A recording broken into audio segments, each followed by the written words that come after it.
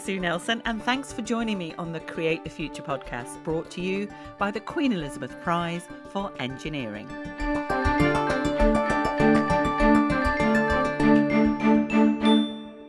London's skyline has continually changed over the centuries, and my guest is a structural engineer who has worked on one of the capital's most recent and distinctive additions, the Shard. Roma Agrawal is a former Young Structural Engineer of the Year, made the Telegraph's top 50 women engineers in the UK list, and is probably one of the few engineers who's been photographed by Annie Leibovitz. An associate director and framework manager at AECOM, Roma is also the author of the award winning book Built The Hidden Stories Behind Our Structures. Okay, let's start with the Shard, that wonderfully elongated pyramid structure that's currently the tallest building in Western Europe. Which parts did you work on? I actually spent about six years of my career working on the design of the Shard um, as part of a larger team of structural engineers and other engineers. And I spent the first couple of years actually working on what we describe as the enabling works. Before you can even build a structure, especially in a city like central London, you have to think about what all the other structures are that are around that site. So we had Victorian brick arches, we had some tube tunnels running adjacent to the site, and we had like a 1960s block. We had a bus station. There was all sorts of stuff. And we had to kind of cut and carve all these historical structures before we could actually even build the new tower. So that that's a bit like forensic engineering, I guess, in some ways, because I was looking at these drawings from even from the 1800s, trying to understand how these historical structures worked before we you know made any changes to them. So that was super interesting but not something that really gets talked about. Was it like being uh, an archaeologist as well in a way? So literally archaeologists got involved as well at some point. Usually in london they want to have a look at the records and what the likelihood of you know roman ruins or something being there. It is a little bit because you're looking at um, little microfiches. So they're like little bits of film that are about an inch wide where you know um, librarians and archivists have recorded these old drawings from over 100 years ago. And you kind of look at them and try and understand how these structures would have been built and you also have to do tests on the materials to make a judgment of how strong those materials are so i think that's a really interesting part of particularly the engineering of something like the shard where there's a lot of background work that happens before the kind of the shiny steel tower even goes up. Um, but then I was involved in the shiny steel tower as well. So I helped with the design of the foundations and I helped with the design of the very top, the you know, the tip of the tower, which is where the viewing gallery is that we call the spire. That's quite lucky in a way, isn't it? Because you were involved in a way that often with engineers is the hidden part, the bits that people don't see and take for granted, the foundations. But actually you not only got that, but you got the sort of um, the bling at the top, the thing that's most recognizable as well. Yeah, I mean, because I had been on that project for so long, I started off as one of the most junior engineers on the project. And I'd always, always, throughout that whole process, wanted to be involved in the design of the spire. So I used to just keep nudging my boss and reminding my boss every few months, like, yeah, you know, when, when we start the spire, I'd really like to be involved.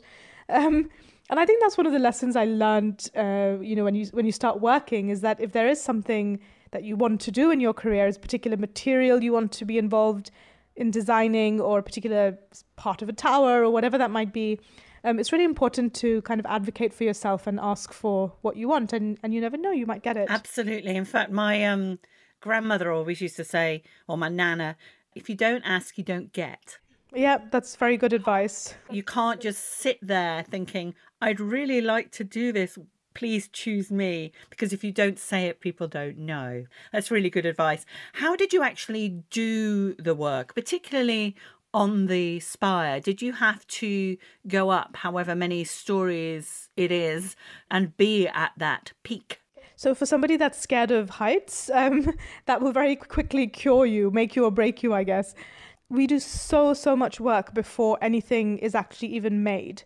Um, I spent months looking at the forces. So we worked with uh, wind tunnel engineers so that we could study what the f- effects of the different wind forces were on this tower. That's right, because some some buildings do sway. All buildings sway. Oh, all of them. I didn't realize so that. all all buildings sway because there is going to be natural movement, and the trick for us as engineers is to make sure that that movement isn't too much and that it isn't perceivable. Those are the two things that we're really aiming for.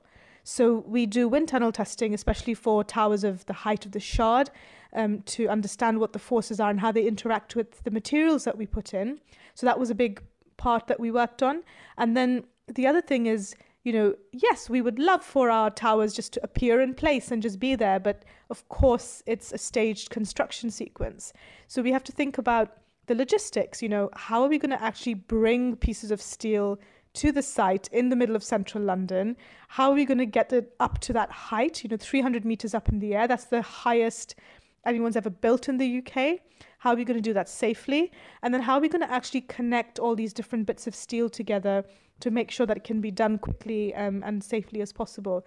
So, in that, the structural engineers and me, we worked with the steel manufacturers, you know, the people that were actually pouring the steel sections together. Um, and we also worked with the contractors that were coming up with the crane logistics. You know, how heavy were the pieces of steel that needed to be lifted by the crane? Where could the crane sit? So, you know, it is absolutely fascinating to get involved in, in something like that. And it sounds as if you worked with a huge array of different people who are experts in their particular field. Yes, and I think that's one thing about engineering that I didn't fully appreciate when I was studying it at university was exactly how collaborative it had to be and especially between different disciplines as you mentioned. So at university at least, you know, kind of 15 years ago when I was doing the course and things have changed, I was just doing projects with other structural engineers.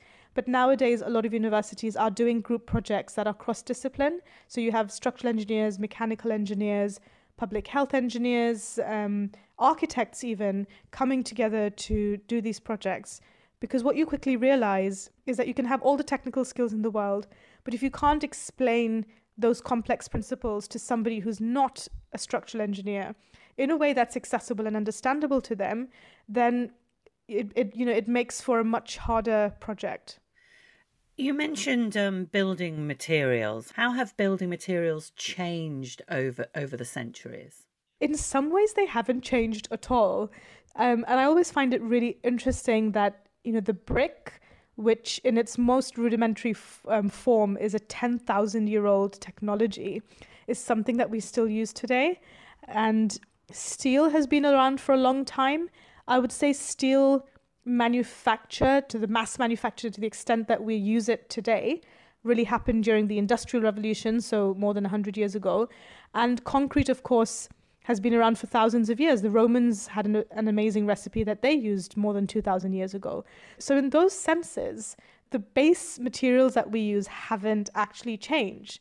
I think what's changed is the process and the industrialization and the scale at which we can manufacture these things, and perhaps to some extent our understanding of how these materials work. I mentioned in the introduction that you know that describing the building for those who've who've not seen it, this elongated sort of stretch, tall pyramid. Did it feel like you were making the modern day equivalent of the pyramids at the time? they are so so incredibly different. So absolutely, I agree with you that the shape could be described as an elongated pyramid, but the way that they work are actually completely different. So there are two main forms of frames, I guess, that you can give a building. So that's how a building takes gravity and how it distributes the forces of gravity through its own body and down into the foundations.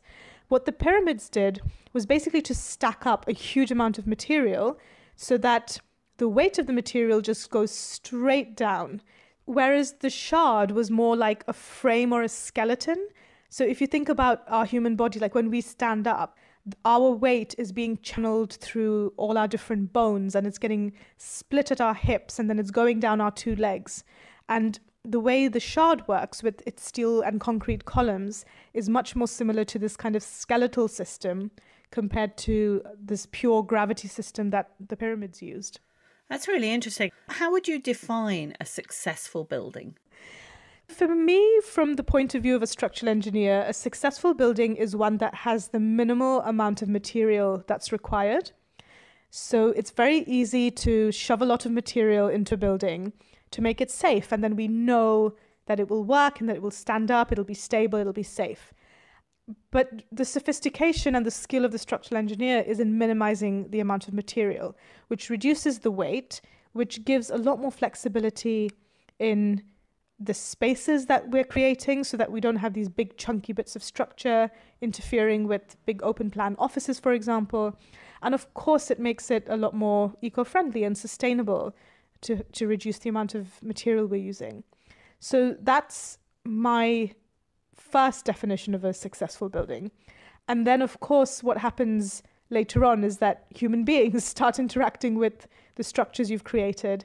And then for me, you know, when I see people, for example, taking photographs in front of the shard or standing on the footbridge that I worked on early in my career, and just seeing people enjoying the structure and, and being happy in it and, and being productive in it um, is, is, of course, a huge mark of success. That's right, because there's, there's a lot of emotion attached to people's either love or dislike of certain structures. It's funny the way they can really divide people. They can. And I think we forget, you know, what percentage of our day we spend interacting with structures because we're, we're at home or we're at work, we're in a school, we, you know, we could be anywhere. And for a large proportion of our day, we are inside a structure. You know, especially now in today's kind of situation where a lot of us are spending a lot of time at home, we're suddenly noticing our home in different ways, I think. So I was talking to somebody the other day that, oh, we're clearing out our cupboards, we're, you know, looking at our bookshelves and thinking about what we actually want on there. But I think it it kind of defines that relationship a bit more strongly when you when you realize that, oh, I'm gonna be in this area or this space for a really long time. What are things about it that I haven't noticed before? And I think that's a really huge motivation for me in in my other work, which is trying to promote engineering and to just make people a bit more conscious and excited by the structures around them. Well, one of the things that you did in order to, you know, promote engineering was write your book, Built, which was hugely successful. And you also went into sort of engineering failures there as well. And I thought that was really interesting, particularly in terms of what led to the collapse of the World Trade Center, the, the, the, the two mm. towers. For people who've not yet read your book, how would you sum up what those building failures were? I think building failures occur for a few different types of reasons. And unfortunately, a lot of that is human error because at the end of the day, you know, people make mistakes and sometimes we're pushing boundaries, we're trying things that we haven't tried before, and sometimes they don't work. Sometimes those failures can be, you know, not life threatening. So, for example, the wobbly bridge, the Millennium Bridge in London, which was swaying a lot when it first opened, or it can be quite catastrophic and and really tragic in the sense of the World Trade Centers. Sometimes things change. So the World Trade Centers were built more than 50 years ago, about 70 years ago perhaps, and it had actually been designed for a plane impact. But the size of the planes that they actually designed that impact for um, was smaller than the size of the plane that actually hit it in the end in, in 2001. So they were of their time, effectively. Exactly. So, you know, we also um, need to think about the longevity of our buildings. So, if our buildings are going to be there for 70 years, 100 years, then trying to anticipate the changes that can happen. And then, one more area that failures sometimes happen in is during construction. So, where I was talking about before that construction is a staged process, the building could be absolutely safe in its final configuration, but while you're building it, the way the forces are interacting with your structure are different.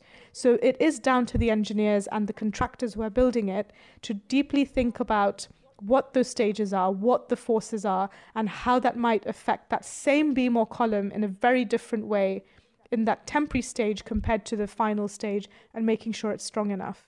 Now, you did a degree in physics and a master's in engineering. What produced that change change of gear? Because obviously there's a big overlap with the maths. There is. So I didn't know what I wanted to do with my life and career when I was 16, 17 years old applying for university. I loved maths and physics, so decided to pursue that at university. And quite rightly, felt that with a physics degree, I could do quite a big range of different careers once I graduated.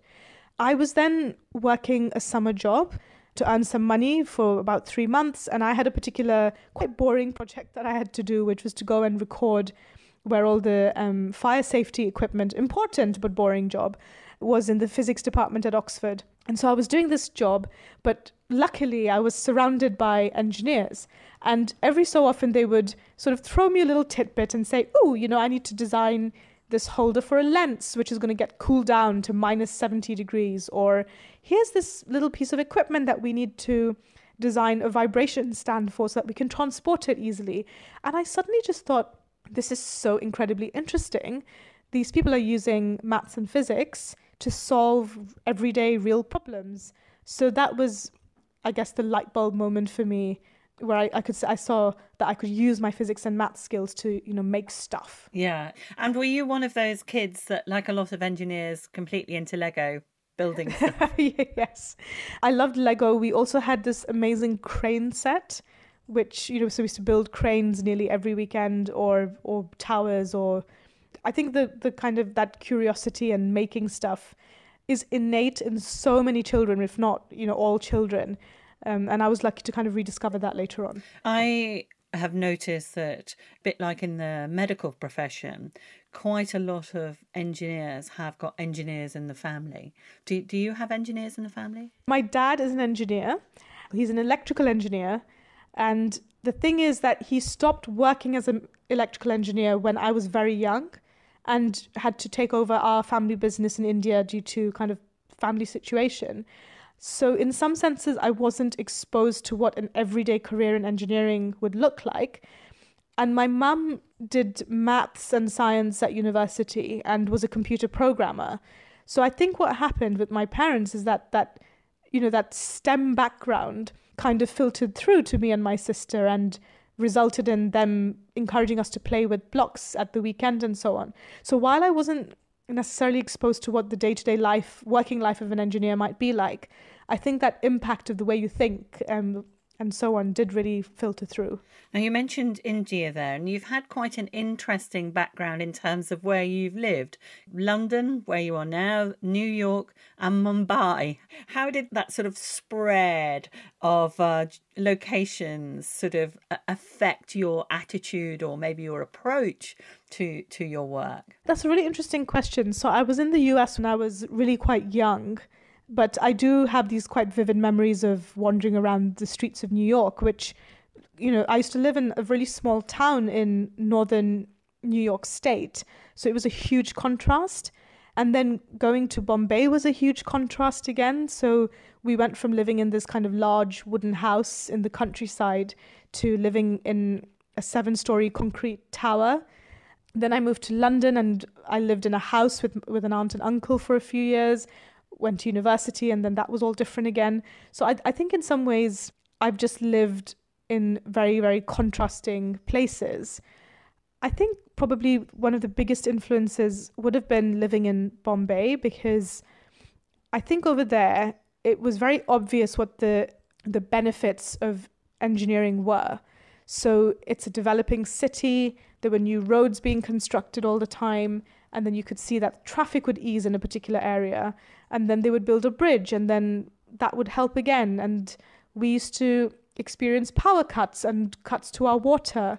So i think we understood that you know these fundamental pieces of infrastructure are so important and what the effect is when they don't work very well. So i think engineering is a lot more in people's consciousness it's given the respect it deserves effectively that people really yeah. do rate engineers very highly i completely agree and and i think I always had this vague understanding that engineering as a profession exists. I didn't understand the day to day, you know, workings of it, but I understood that it made a difference to people and to society and so on. So I did find it quite strange when I came to the UK and people just had no idea what it is that engineers do. And it used to be there, right? Like we had these golden age of engineering in the industrial era, but in some way that's I guess faded into the background in the UK. So so I think having that really international background has meant that engineering and the effect it has on society it is quite there. You know, it's very present in in my thinking.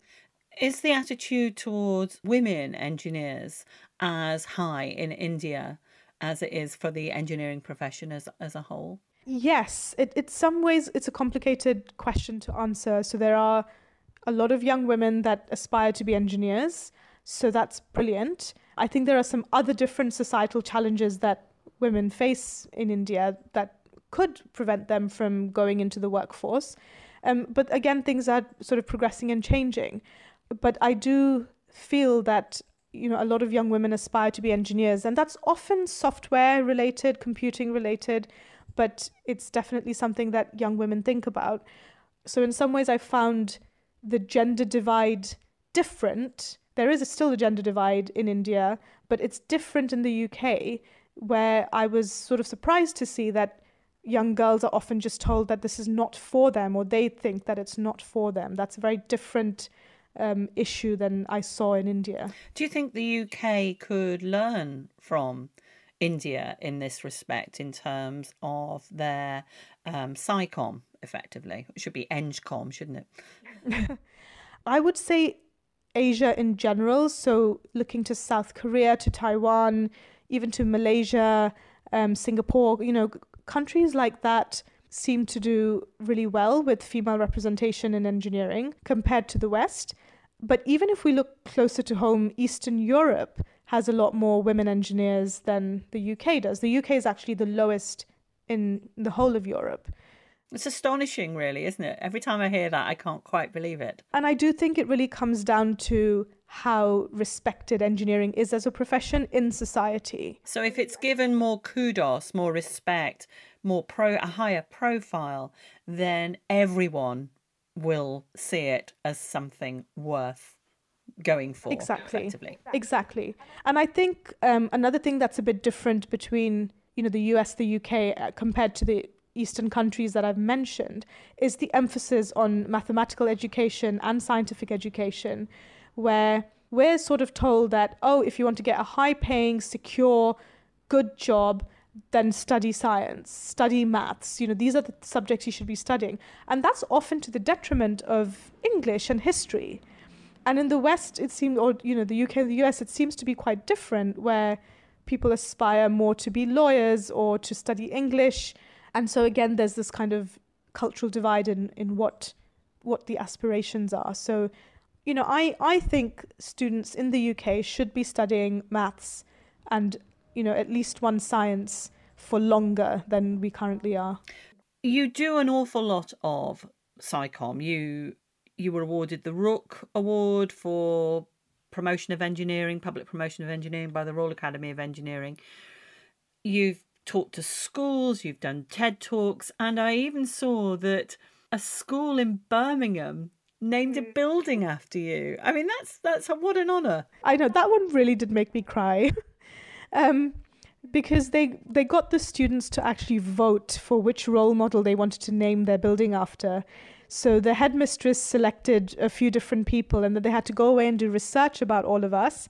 Um, and they picked me, and that was just so lovely. It is lovely, isn't it? It is so lovely. And I think what was particularly touching for me was that that school, uh, it's an academy, it's got a lot of low income students there in the middle of Birmingham. And the vast majority of the students there are from BAME backgrounds as well. So, you know, it, it felt particularly lovely to me that, um, you know, I could just be a, a face of something that they may not have thought about that was possible for them. And um, you, you, were also a face of a face of a Marks and Spencers campaign. That's going back about five years now, but that had quite an impact. It was one of those really odd um, experiences in my life I never thought I would have, where I got this email about it. And I just thought it was a hoax. You know, I, I didn't really take it very seriously, but it did happen. And the reason I decided to do it was because it was a campaign called the Leading Ladies Campaign. So they had women from lots of different fields involved, and they were varying levels of famousness, I guess. There was me, um, who was this kind of structural engineer, and then there was Emma Thompson, you know, so there was a huge range of how well known we were. I saw a picture of you standing there looking glorious in a in a dress, um, and there in the foreground was sort of Rita Ora. Yes, exactly. But I think the reason I was keen to do that was because, uh, you know, again, I felt that if people saw my name and saw me and then saw my profession, which they said they would also talk about, so they said structural engineer, it might just make people think twice and say, oh, I didn't realize young women, young Indian women wearing these glamorous dresses could be structural engineers. So, you know, hopefully it just made a few people think a bit deep more deeply about what structural engineers actually look like. Now, I, I mentioned at the start that you are something called a framework manager for AECOM. Uh, I must confess, I have no idea what a framework manager is. Uh, I know you're on sabbatical at the moment, but before we discuss that, what is a framework manager? Of course. I worked as quite, you know, a post structural engineer for most of my career, but for the last two years or so, I've been branching out a little bit. And I think it's important to talk about the fact that, you know, as an engineer, you can kind of go off into all different directions. So, what I now look at is the front end of the project. So before I would get a project on my desk and then I would start to make that project a reality. But before that even happens, a lot needs to be done. So I now work with clients, you know, with people that want to build housing, that want to commission work to improve air quality in their local borough, for example, in London. And so what I'm doing is I understand and work with my whole company to think about all the different types of engineering services that we offer. I then look at clients who are generally um, local councils in London or local government in London to see what their targets are. So all all local councils, you know, want to improve air quality, they want to build housing, they've got all these different things they're thinking about. And I try and match those two things together and then actually start working on the contracts and think about how we're going to deliver these things. So once all of that's done and the contracts are signed, I now pass that project on to an engineer, which, you know, used to be me once upon a time. But now, you know, a, a team of engineers kind of takes it away. So I find that front end of projects really quite fascinating which is actually, you know, what project is needed in the first place and how can we make that happen? That's something that quite a few engineers go into, isn't it? Is project manager. And it's usually as a result of having to deal with very big projects that help you understand exactly what's involved, how many areas involved. Because after you worked on on the Shard, you also worked um, on Crystal Palace Station, and and I'm assuming because that has underground areas as well is that you've got to take loads of the surrounding infrastructure into account. Yeah, I mean, I think that's true for pretty much any type of project that you do in London. And I think most of my projects, apart from one, have been in London. So it is. It is really fascinating when you have to manage all these different interfaces. So, I worked on an apartment block which had interfaces with Network Rail trains and with the Dockland Light Railway trains, which are two separate companies, if, if you're not familiar with London. And then it also had interfaces with private land and public land. And we, you know, we're trying to build apartments. So, you know, designing the steel and concrete in some ways is the easy part. But I had to work with all these different rail authorities and water authorities to ensure that they were happy that our project was safe for them. So that's how you slowly kind of transition to this project management type of roles that you're talking about. And you also find out what your skills are. And I, you know, I, I love talking to people as as we've discovered. So when an engineer can effectively engage with clients and, and explain things to clients and to train operators and water operators about how the engineering is going to work, then that becomes a very valuable skill. And that's one that I've been trying to pursue for the last couple of years in my career. So, what are you doing at the moment? You have a, a sabbatical. Are you? I know you've got a, a young child. Are you writing another book as well? My maternity leave officially finished just a few days ago, and then I did request that I get a sabbatical, so I'm taking a year off. And I sadly can't quite tell you what I'm doing um, at the moment, but I'll, I'll leave it to your imagination. In general, the projects are around communication again, and I did work on a podcast as well. So there's three episodes of a little mini series I did called Building Stories, which which is free to download. So I'd you know I'd love for listeners to have a listen to that as well. Well, good luck with uh, the rest of your career. It's um, I'm, I'm sure actually listening to you it make a lot of people interested in structural engineering. Thank you so much for having me. Well, that's it for Create the Future. Thanks to my guest, structural engineer Roma Agrawal. Do join me next month for another insight into the world of engineering in our Create the Future podcast.